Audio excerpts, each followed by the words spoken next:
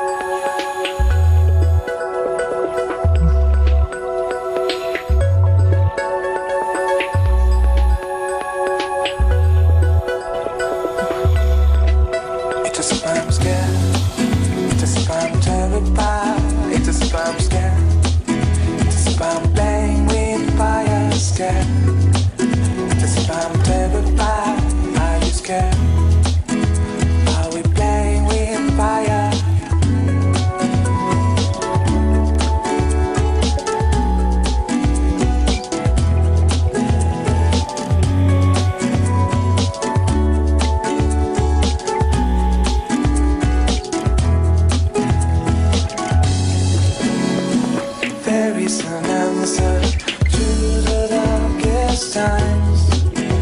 It's there.